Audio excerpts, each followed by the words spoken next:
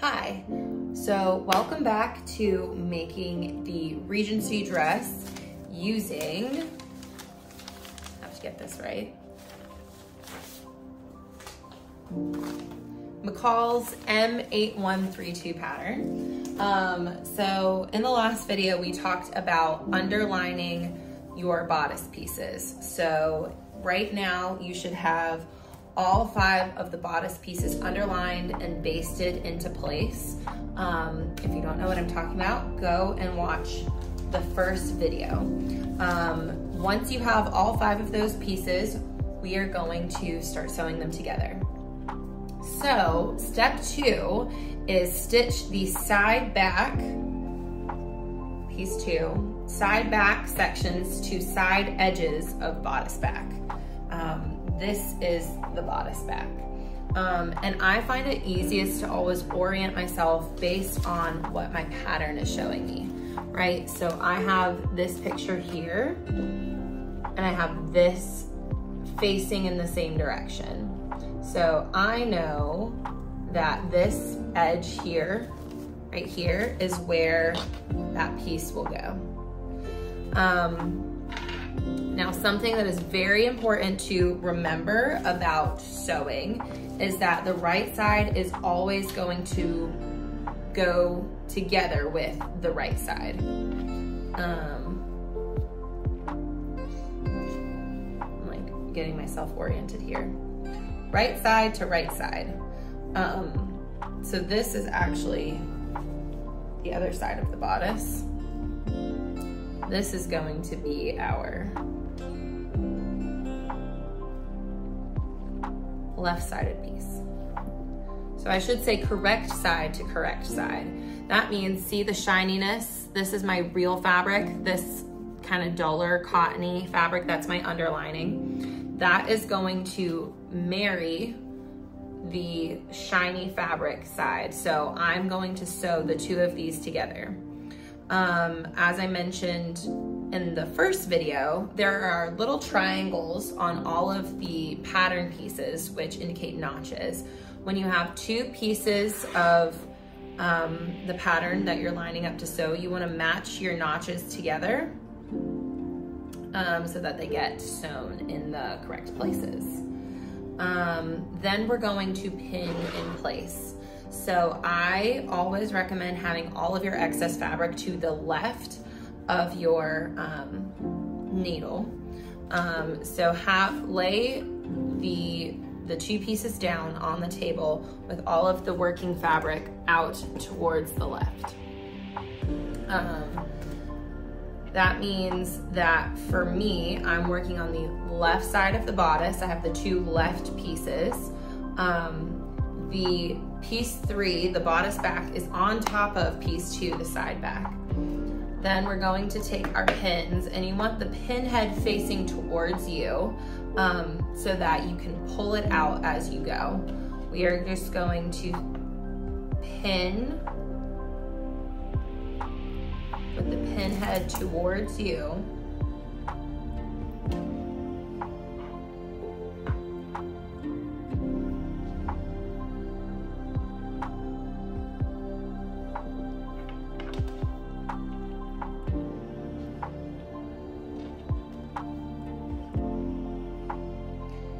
ever have any questions about like, is this right? Am I pinning this correctly?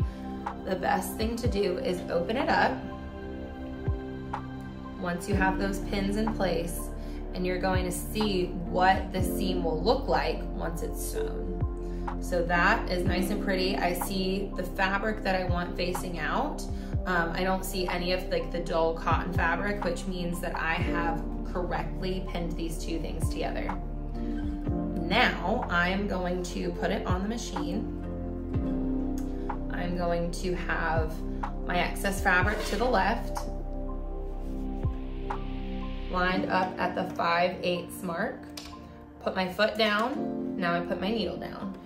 Um, if you are going right from basting, make sure that you shorten your machine stitch to your standard stitch length um, which for me, my machine reads 2.5 as my standard stitch length. Um, and then we are going to go ahead and sew. Um, sometimes your tails kind of get tangled up in what you're doing. That is okay, especially when you have all of these like basting um, tails like hanging around. Just whenever you are messing around on your machine, make sure you don't have your foot anywhere near the pedal. So that's not fun.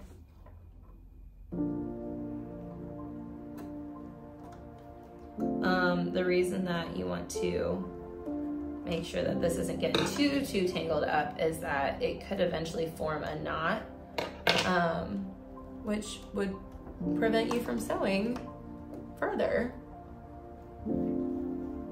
So just getting all of these little friends out of the way. If I had been more judicious when I started, then I wouldn't have to do that right now. Okay.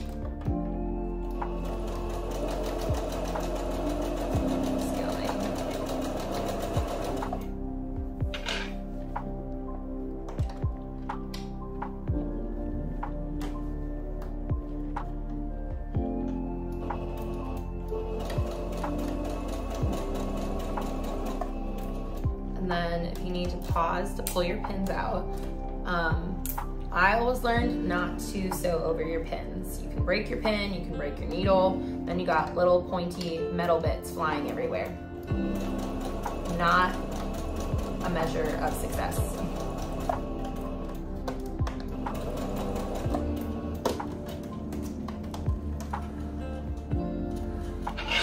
So now I'm going to cut the tail of this very short. We kept the basting tails long um, so that it would be easier to pull those stitches when the time came. Um, but these we want to keep nice and trim. So that was one. And then to check, we simply open it up, lightly tug on either side to check the strength of your stitch. Um, if nothing's falling apart, congrats, you did that one correctly. Um, so next we're going to do the right side of the bodice, um, same as what we just did, so, except that now it will be the inverse. So now I have piece three on the bottom, piece two on the top. Both are still to, all of the working fabric is to the left. Um, and I have the pin head facing towards me. You match those notches up so you know that you're pinning everything in the right place. Like this. And again, if you wanna double check, open it up, make sure it looks correct. Try and get all of our tails in order before we start sewing this seam. Line it up on your machine at that 5 8 mark. I'm gonna go foot down, needle down.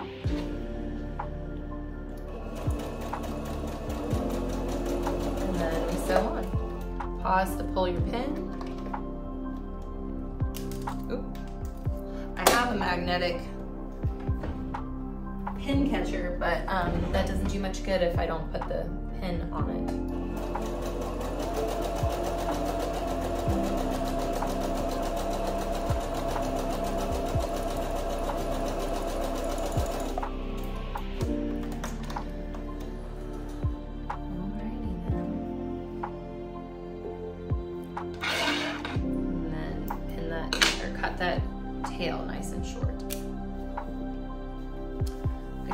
Open it up, give a nice little tug, make sure everything is looking nice and strong. Once you've done that, that's step two done. Step three, stitch bodice backs to bodice front. So now we have, these are our bodice backs. Um, and we are going to be doing that at the shoulders up here and these sides over here. Um, so since we already have the right piece of the bodice out and working, we're gonna start there. So I have my um, bodice back laying down on the table, facing up towards me. um, my nice shiny fabric. Then I have my bodice front. It is going to go face down, so correct side to correct side um, to meet my bodice back. Then we're going to look for those notches. Go ahead and line them up. I'm starting here on the side and then I'm going to pin in place. So all of my working material is to my left. Pin head is facing me. And then I'm gonna go ahead and get this on my machine.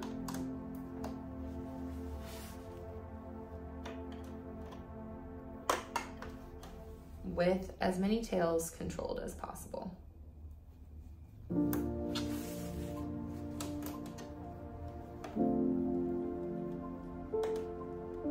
Line it up 5 eighths, foot down, needle down, and then we sew. Pulling your pin as you go, not sewing over any pins. Not today.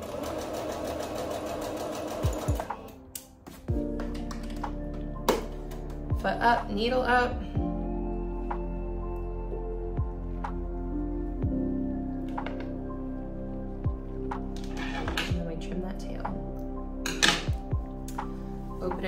Check the strength of your seam by gently tugging. Nice and strong. Then we move to the shoulder. So again, we want to make sure that we are doing the correct side to the correct side. Don't get your bodice twisted. So again, with the bodice back face up on the table, you're putting the bodice front down, correct side down, so correct side to correct side, and lining up the notches on the shoulder seams. Um, having your working fabric towards your left, go ahead and pin in place with the pin head facing towards you. Good. And if this takes you longer than it takes me, that is fine. You are just starting out, I'm assuming, since you are watching this tutorial. Put it on the machine at 5 eighths, foot down, needle down.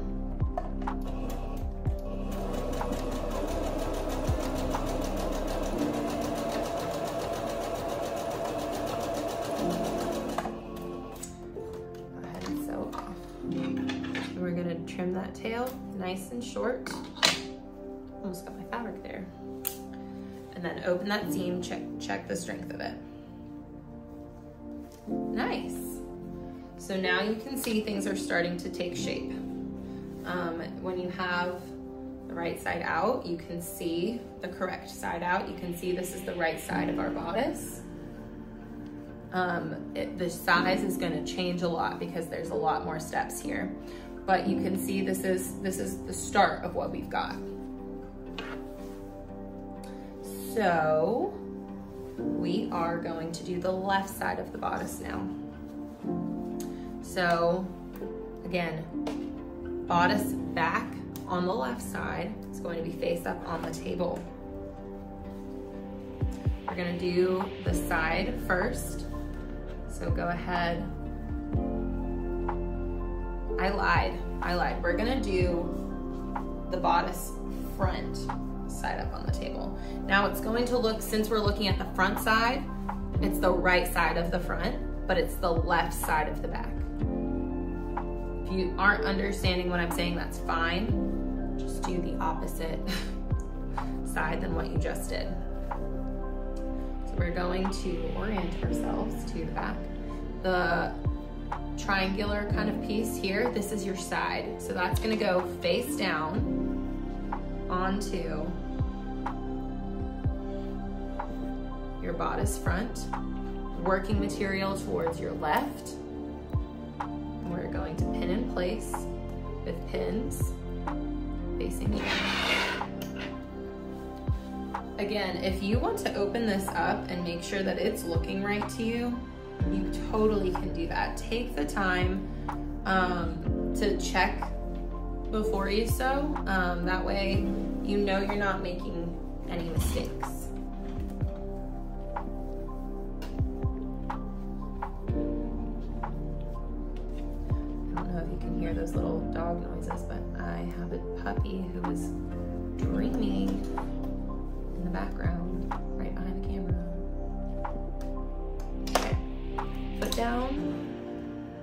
Needle down on that 5 8 line.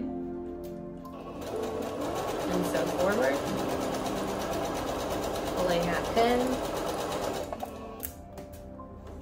needle up, foot up,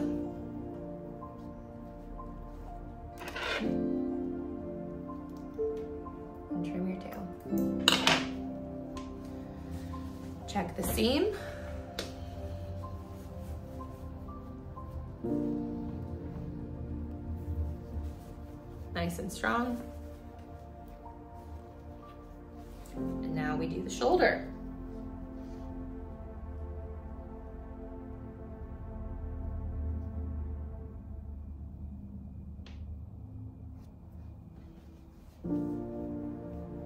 So again, the bodice back will come down, face down to touch on the bodice front so that your working material is to your left. Line up your notches and pin in place.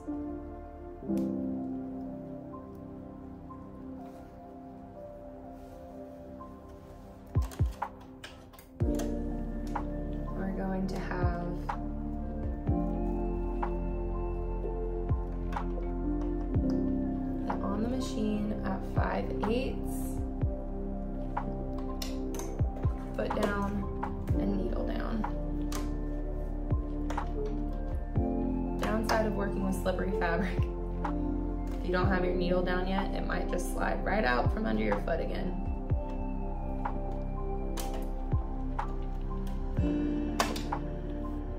That's why I start with my needle down, because it's so slippery and slidey.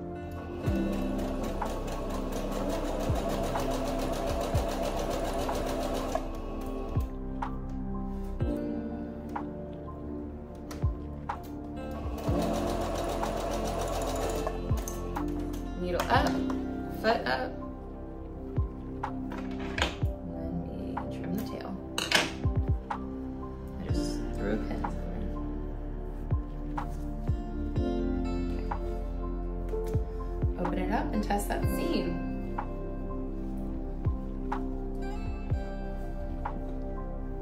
So now we've got the makings of the bodice.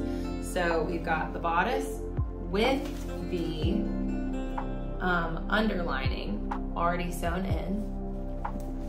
Um, and we've just completed steps two and three.